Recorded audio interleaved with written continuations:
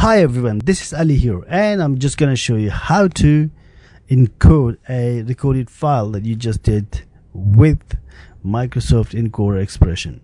So bear in mind, once you record a screen uh, with Microsoft Encoder, it will come up with different sort of format. So to, to sort that out, you would need to open up the Microsoft Encoder and choose the file that you want to choose so once you select that obviously you come up with this uh, it will bring up onto your timeline. Um, if you need to make changes cut crop or edit or add text you can just do it here but I'm not gonna go into the you know the only thing I want to show is here how to encode it.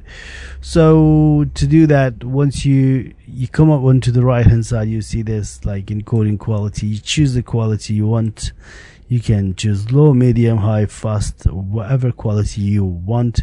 You choose from there uh, you know further down you can see there's a volume option. You can um, increase your or decrease your volume as well um, and then finally you can choose your encoding format whether you want to encode in Windows Media format or MP4 ECT so select that one and you come up at the last stage to encode it. So at the bottom on the left you can see there's a button called encode. Just press that one. Once you press that one the the software install uh, will start encoding the file for you to your designated uh, format. Once you've done that once it's finished you can close it and you got the file as a